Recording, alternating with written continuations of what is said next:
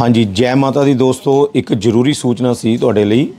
ਦੀਪਕ telecom ਦੇ ਨਾਮ ਤੇ ਅਗਰ ਤੁਹਾਡੇ ਤੋਂ ਕੋਈ ਵੀ ਪੈਸੇ ਮੰਗਦਾ ਹੈ ਫੇਸਬੁੱਕ ਦੇ ਜ਼ਰੀਏ ਜਾਂ ਸੋਸ਼ਲ ਮੀਡੀਆ ਦੇ ਜ਼ਰੀਏ, ਤਾਂ ਬਿਲਕੁਲ ਕੋਈ ਪੈਸਾ ਨਹੀਂ ਦੇਣਾ ਤੁਸੀਂ। ਕੋਈ OTP ਮੰਗਦਾ ਹੈ, ਕੋਈ OTP ਨਹੀਂ ਦੇਣਾ।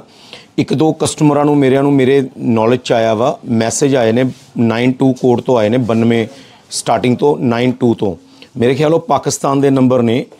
ਔਰ ਮੈਨੂੰ ਇਦਾਂ ਲੱਗਦਾ ਕਿ ਜਿਹੜੇ ਫਰੋਡ ਵਗੈਰਾ ਹੁੰਦੇ ਨੇ ਜਾਂ ਕੁਝ ਵੀ ਹੁੰਦਾ ਵਾ ਨੇ ਬਾਹਰਲੇ ਨੰਬਰਾਂ ਤੋਂ ਜ਼ਿਆਦਾ ਹੁੰਦਾ ਵਾ। ਇਸ ਲਈ ਮੇਰੀ ਬੇਨਤੀ ਹੈ ਹੱਥ ਬੰਨ ਕੇ ਕਿਸੇ ਨੇ ਵੀ ਕੋਈ ਵੀ ਤੁਹਾਨੂੰ ਮੈਸੇਜ ਆਵੇ ਕਿ ਤੁਹਾਨੂੰ ਦੀਪਕ ਟੈਲੀਕਾਮ ਵੱਲੋਂ ਇਹ ਨਿਕਲਿਆ ਹੈ, ਉਹ ਨਿਕਲਿਆ ਹੈ, ਜਾਂ ਫਿਰ ਤੁਹਾਡੇ ਤੋਂ ਕੋਈ ਫਰੋਡ ਨੂੰ ਇੰਨੇ ਪੈਸੇ ਦਿੱਤੇ ਜਾਣ, ਤਾਂ ਮੇਰੀ ਹੱਥ ਜੋੜ ਕੇ ਬੇਨਤੀ ਹੈ, ਬਿਲਕੁਲ ਹੀ ਤੁਸੀਂ ਕੋਈ ਪੈਸਾ ਆਪਣਾ ਵੇਸਟ ਨਹੀਂ ਕਰਨਾ। ਸਾਡੇ ਵੱਲੋਂ ਜੇ ਕੋਈ ਡਰਾ ਕੱਢਿਆ ਜਾਂਦਾ ਹੈ, ਤਾਂ ਉਹ ਬਿਲਕੁਲ ਫ੍ਰੀ ਆਫ ਕੋਸਟ ਹੁੰਦਾ ਹੈ। ਉਹਦੀ ਏਵਜ਼ ਦੇ ਵਿੱਚ ਅਸੀਂ ਕੋਈ ਪੈਸਾ ਵੀ ਕਸਟਮਰ ਤੋਂ ਲੈਂਦੇ ਨਹੀਂ ਹੈਗੇ। ਅਗਰ ਕੋਈ ਕੰਪਨੀ ਦਾ ਡਰਾ ਹੁੰਦਾ ਹੈ, ਉਹਦੇ ਵਿੱਚ ਕਹਿ ਸਕਦੇ ਹਾਂ ਆਪਾਂ TDS ਵਗੈਰਾ ਜਾਂ ਆਪਾਂ ਕੋਈ ਹੁਣ ਦੇਣਾ ਪੈਂਦਾ ਹੋਵੇ ਤਾਂ ਦੇਣਾ ਪੈਂਦਾ। ਪਰ ਦੀਪਕ ਟੈਲੀਕਾਮ ਵੱਲੋਂ ਕੋਈ ਵੀ ਡਰਾ ਸਕੀਮ ਹੈ, ਚਾਹੇ ਕੋਈ ਮੋਬਾਈਲ ਨਿਕਲਦਾ ਹੈ ਜਾਂ ਕੋਈ ਵੀ ਆਈਟਮ ਨਿਕਲਦੀ ਹੈ, ਉਹ ਬਿਲਕੁਲ ਫ੍ਰੀ ਆਫ ਕੋਸਟ ਹੈ।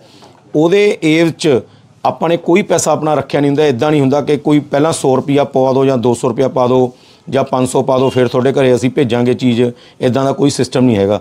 ਇਸ ਲਈ ਬਹੁਤ ਜ਼ਰੂਰੀ ਸੂਚਨਾ ਹੈ, ਵੱਧ ਤੋਂ ਵੱਧ ਸ਼ੇਅਰ ਕਰੋ, ਵੱਧ ਤੋਂ ਵੱਧ ਫਾਲੋ ਕਰੋ ਔਰ ਅੱਗੇ ਦੀ ਅੱਗੇ ਪਹੁੰਚਾਓ, ਪਤਾ ਲੱਗੇ ਅਵੇਅਰਨੈਸ ਹੋਵੇ ਜ਼ਿਆਦਾ ਤੋਂ ਜ਼ਿਆਦਾ। ਇਹ ਨਾ ਹੋਵੇ ਕਿ ਕੱਲ ਨੂੰ ਕਿਸੇ ਦਾ ਨੁਕਸਾਨ ਹੋ ਜਾਵੇ, ਕੋਈ ਮਤਲਬ ਅਣਜਾਣੇ ਦੇ ਵਿੱਚ ਹੀ ਕਿਸੇ ਤੋਂ ਨੁਕਸਾਨ ਹੋ ਜਾਵੇ। ਜੈ ਮਾਤਾ ਦੀ ਜੀ।